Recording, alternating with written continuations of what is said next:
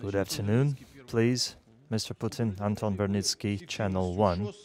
Are you satisfied with the efficiency of SCO in such a turbulent situation in the world? And is the SCO up to all the challenges? Yes, indeed, it's a very useful organization. Let me remind you that it was created to finally settle all the issues left after the collapse of the Soviet Union. The borderline issues with the Chinese Republic, People's Republic of China, that remained unresolved between the new sovereign states and China, and gradually this organization started gaining momentum. And in today's world, it has become very relevant because it's obviously one of the independent centers of the new multipolar world. And this is what attracts participants, member states of the organization, and those who want to maintain contacts on most different levels. As guests and as observers, and the desire to join the organization is growing, and the organization has indeed become a global organization. Almost half of the world's population are live in the countries in the member states of the SCO. And besides, it's a platform for coordinating positions among member states. It's, there's China, Brazil, India, and Pakistan. And there's no such thing as too many contacts. And since the organization has become so big and powerful, and the principles it declares also matter when there are distributed all over the world. In our declaration, we agreed that all SCO member countries are against deploying any weaponry in outer space. This is a signal for the rest of the world regarding how we treat the militarization of outer space. There are other things that are serious and important, and well, trillions in commodity turnover. That's something to, to reckon. That's something to consider. As I said before, 5.4 or 5.3% of GDP growth and 4.5% of industrial manufacturing with low inflation of 2.4% is, is great growth rate for economy and good quality of it, I mean low level of inflation. And we also coordinate on humanitarian issues and cooperate in various areas like youth, education and sports. All this is very important and has great perspectives. Alexander Gamov, Komsomolskaya Pravda. We have already made statements that we consider Rada the only legitimate authority in Ukraine. That's how it is in the constitution. Well, maybe Russia could address uh, Rada directly, the Ukrainian parliament, maybe for the people of Ukraine and the West, for everyone to hear this this direct call. In December 1999, there was a decision was made to create a union state between Russia and Belarus with a single currency and so on and so on. And now integration processes are unprecedented considering our defense ties. Do you think it's time to get back to creating this union that seemed relevant back in 1999? Well, addressing the Rada directly is possible, of course, but amid usurpation of power by the ruling regime, it's it makes no sense because most of the Rada obeys this well, regime.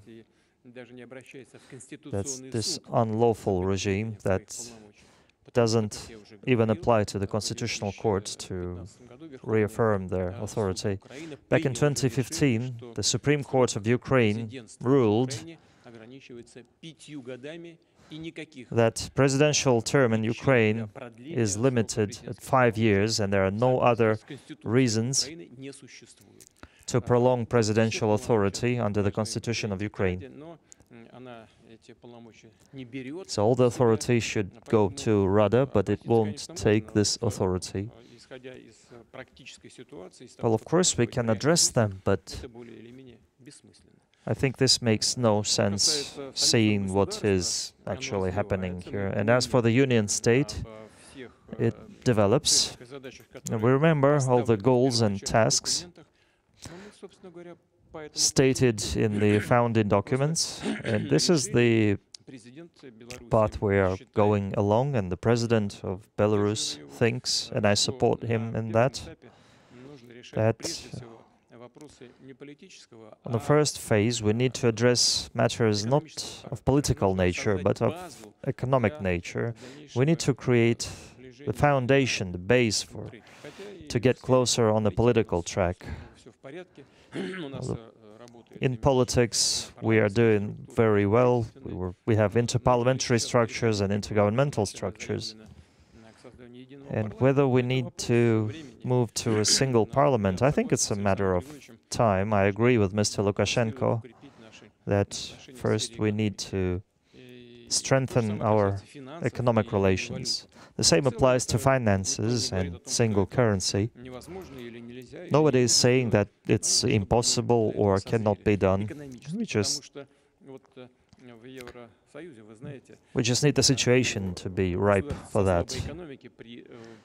Take the European Union, for example, where states with weak economy a lot of them suffered when euro was introduced because they can't regulate anything using inflation because everything is pegged to euro so Greece couldn't regulate its inner economic processes when euro was in place I think we have made very serious headway in this direction. This applies to tax regulation, customs regulation, and these things are, well, nothing short of revolutionary. When we are going forward, considering international experience, and I think we are doing the, the right thing. Russia Today, please угрозой безопасности э, в ШОС и в том числе э, странам Центральной Азии и России являются террористические организации. Terrorist organizations in territory of э, Afghanistan are considered a serious threat to the security of SCO countries, and the Islamic State is considered one of the most serious of them. The question is, do we need to involve the Taliban to the dialogue about terrorist threats. Do you think they are our allies or enemies in, in this? Well, the, the Taliban movement has taken on certain obligations, and in general, there are issues that require constant attention, both inside the country and in the international community. But in general, we need to Take, keep in mind the fact that Taliban controls power in their country, and in this regard, Taliban are our allies in fighting terrorism because any current power, any incumbent power, is in, cares for the stability of the state it rules, and I'm sure that Taliban is interested that everything in Taliban is stable and obeys certain rules. And we have repeatedly received signals from Taliban that they are ready to work with us on the anti-terrorist track.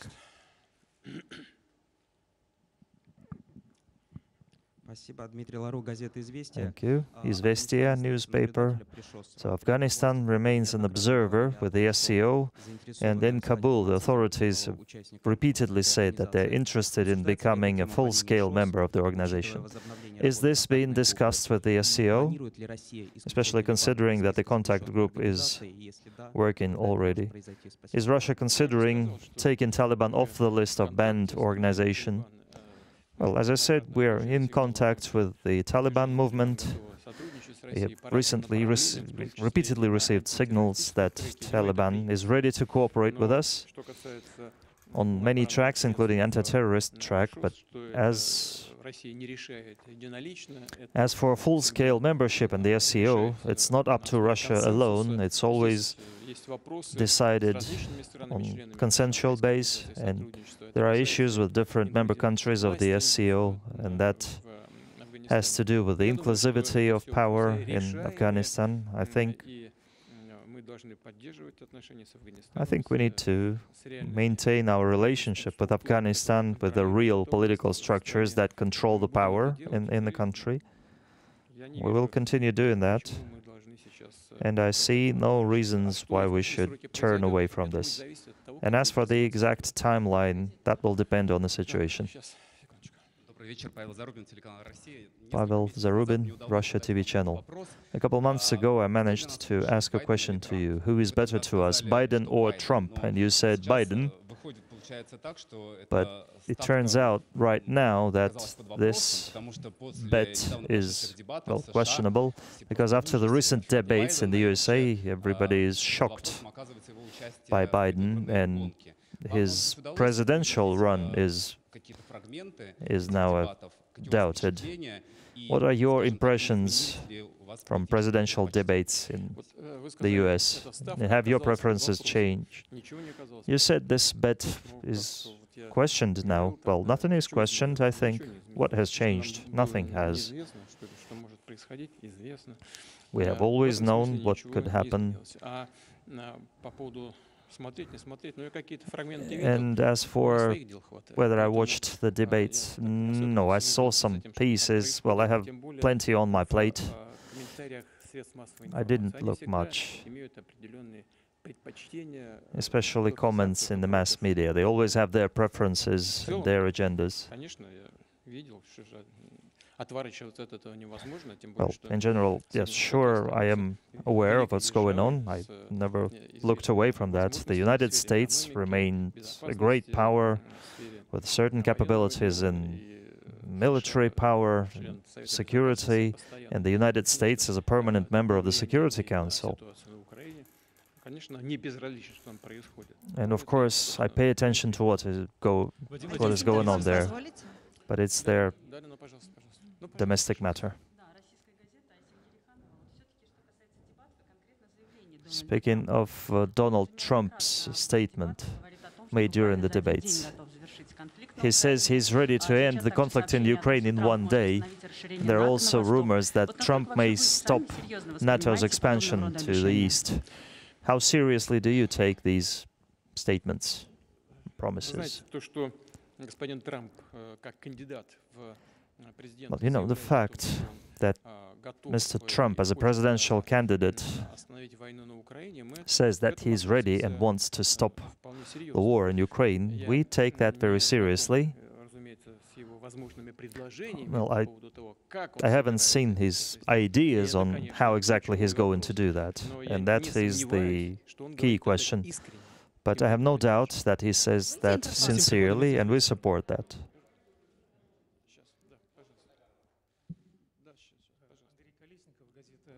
Andrei Kolesnikov, Kommersant. Mr. Putin, do you think a ceasefire in Ukraine is possible before the beginning of peace talks without any preliminary conditions, just to improve any chances for success? Or is it a matter of negotiations as well? Well, let me remind you some things. When our troops were standing near Kiev, our Western partners asked us insistently to stop hostilities to give Ukraine time to do certain things, and we did just that.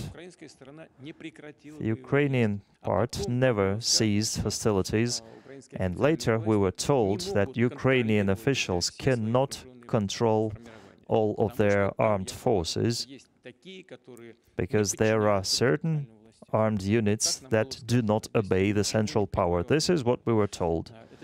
I didn't invent anything. Then we were asked to withdraw our troops, to make conditions for, for a peace settlement. We did that, and then we were deceived, and all the Istanbul agreements went down the drain. And this happened many times, so right now just announcing a ceasefire, hoping that the other party may take some positive steps. We just can't do that. Besides, we can't afford to have a situation that the enemy could use the ceasefire to improve their position, to do some more mobilization, to draft more troops, to arm them and be ready to continue the armed conflict. We need we need to make the other parties take steps that would be irreversible, and would be acceptable for the Russian Federation.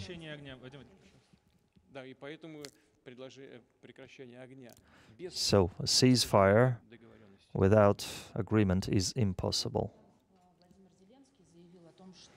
Just recently, Vladimir Zelensky said he considers negotiations with Russia possible through a middleman, as it was with the grain deal. We have always been in favor of peace talks. We've never shunned from them. The question is that finally settling the conflict through middle people, I think it's it's hardly feasible because there's little chance that the middleman will have the authority to sign the final documents. And not only sign them, but to lead the parties to signing them. It's a matter of not only competency of those middlemen, but their authorities as well. Who can give a middle person the authority to put put an end to this conflict? I think this is hardly possible. Well, however, the way Mr. Erdogan did this during our talk negotiations process in Istanbul. Well, we welcome that.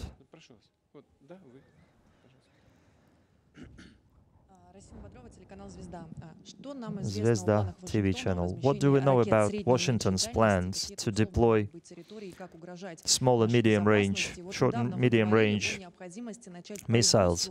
Just recently, you talked about the need to start manufacturing new short and middle range. missile systems. Well, due to the US withdrawal from this treaty and news that they are beginning production of short and medium range missiles, we consider ourselves authorized to start research and development work and production of similar missiles. And as for deployment of such systems, if you remember, I said that we declare a moratorium on deployment of our systems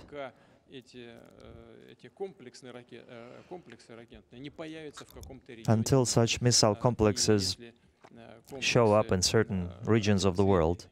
And if short and medium range missiles, American missiles, appear somewhere, we reserve the right to act accordingly.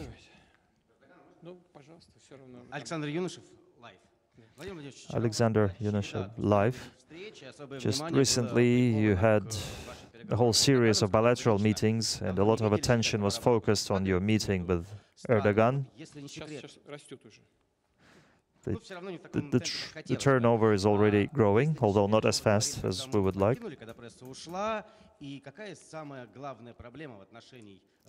What do you think is the biggest challenge in Russian-Turkish relationships? What stands in the way?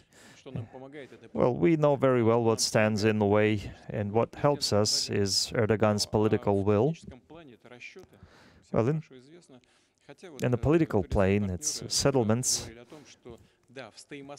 Just recently, our Turkish partners said that our trade turnover went down from 63 billion to 55 billion, but they think that it has to do with the pricing and cost characteristics, because they bought our oil and gas at higher prices, and over the recent months, uh, prices fell down, especially in comparison with the year 2022.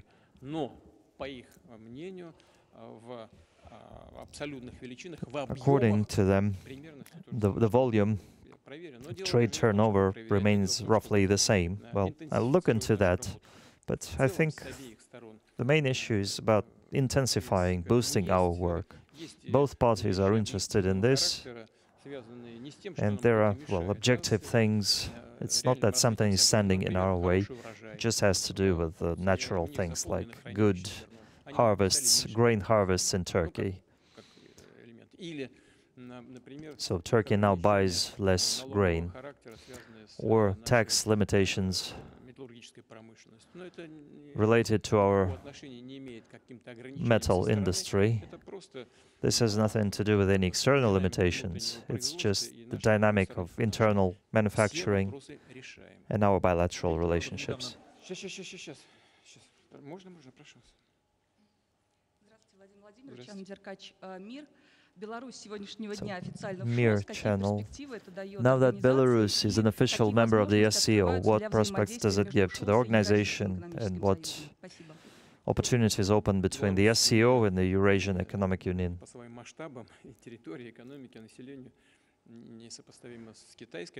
Well, Belarus, of course, cannot be compared to China or India in its scale or population, but still it's an important element of the Shanghai Cooperation Organization because Belarus is part of Eastern Europe and it's an official expansion of the Shanghai Cooperation Organization to the European continent and to Belarus it's a great advantage because through Russia and then through Kazakhstan, Uzbekistan, it has access, now gains access to the Caspian Sea and then to Iran. And that's important for Belarus as it remains a major exporter of mineral fertilizers and it matters what routes it used, uses to supply its fertilizers and to what countries they can supply their agricultural machines.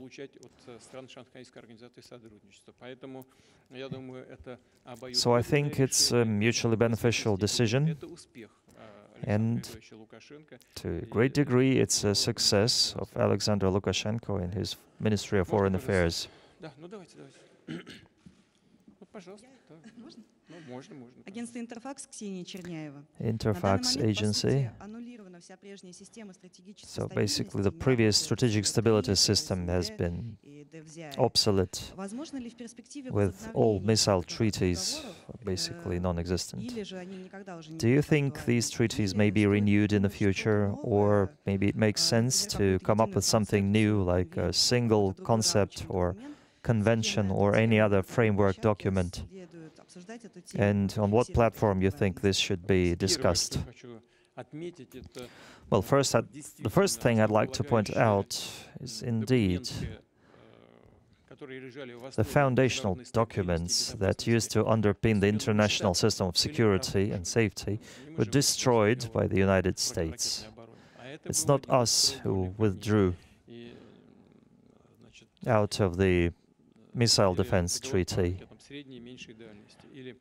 or the Short and Medium Range Missile Treaty. There are many elements that used to be to lie in the foundation of the international stability system were destroyed over the last few years. And it wasn't us who have done that. The United States has done it, we only had to, we could only respond to that. So in the military sphere, to overcome the United States missile defense system, we came up successfully with uh, air defense breach systems like Avangard missiles with uh, hypersonic warheads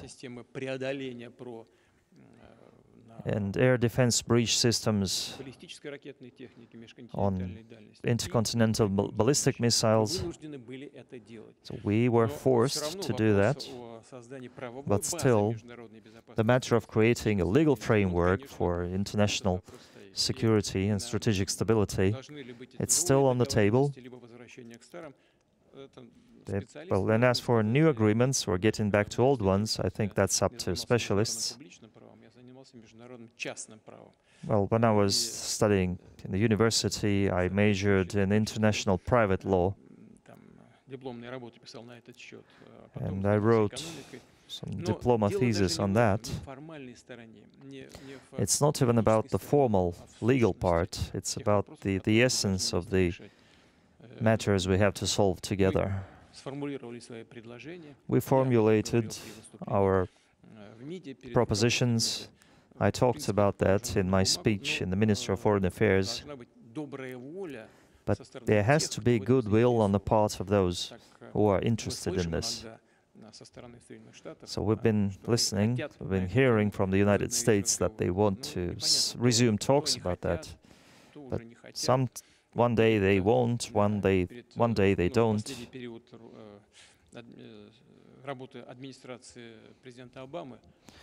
During Obama administration, we were told that they want to start talking, and then suddenly they didn't want to talk anymore. Now, during this very fierce election campaign,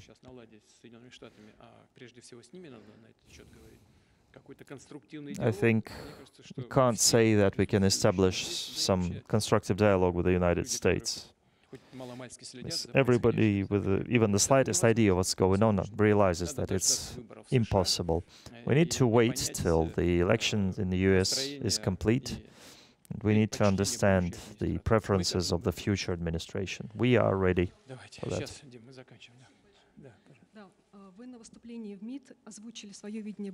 During your speech in the Ministry of Foreign Affairs, you said that these papers, that these ideas will be put on paper. Will those be some written propositions to the West? Are there any contacts going on regarding your propositions regarding Ukraine? Well, as for international security, I just said we need to wait till the new administration appears. We'll need to see their preferences, their views, their plans, and whether they are willing at all to be talking about this. We've been receiving certain signals from time to time that they want to resume this dialogue, and then they just disappear again and start talking about different things totally unrelated to strategic stability.